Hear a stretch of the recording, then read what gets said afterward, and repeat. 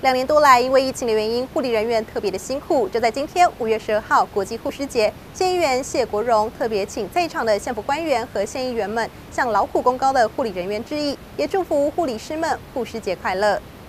COVID-19 席卷全球，台湾这两年多来，因为疫情的影响，护理人员可以说是相当的辛苦。而在今天五月十二号国际护理节，县议谢国荣在定期大会上午结束的前夕，向全国护理人员致意。同时，也请在场的官员们以及县员同仁们一起来向第一线的护理人员加油打气，祝福护理师们护理节快乐。好，我们今天刚好是我们花莲县议会现任总司行的第一天了，也刚好是护士节啊！感谢我们所有的医生跟护士啊啊守帮助我们守护我们的健康啊啊！好，我们请我们所有的议员跟啊局处首长啊，谢。呃，起立啊，跟我们的护士啊，副科长，好不好？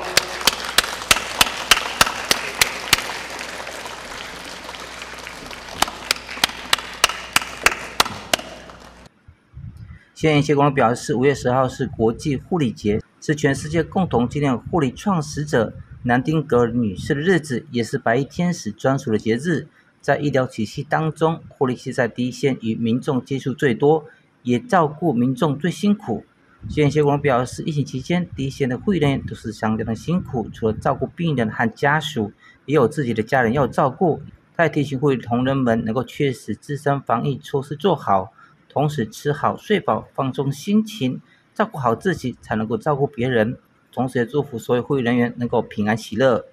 记者熊一黄色报道。